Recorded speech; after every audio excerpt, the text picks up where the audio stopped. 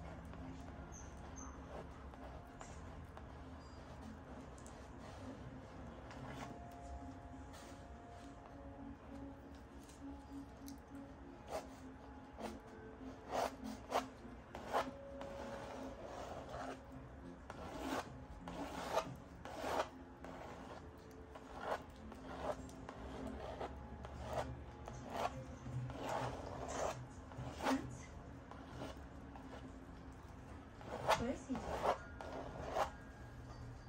Majesty has already departed, and Countess Esther Esterhazy awaits.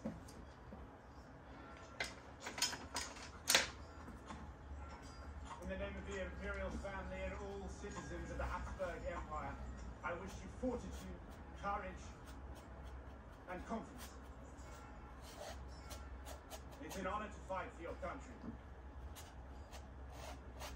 You've sworn an oath of fealty, though you serve not me alone.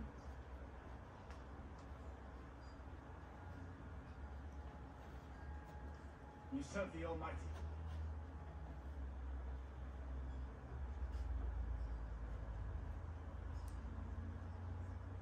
Forgive me. I have no words of comfort that I can give you. You are the ones who are now leaving your families. You're going to a remote corner of the Empire. You go there to protect us all. Not the Almighty, not me, but you all. For that I am eternally grateful. My hope and my commitment is that we preserve peace on our peace sometimes can demand a high price. Show the Russian army that we do not wish to fight. But we are ready to fight them if we have to.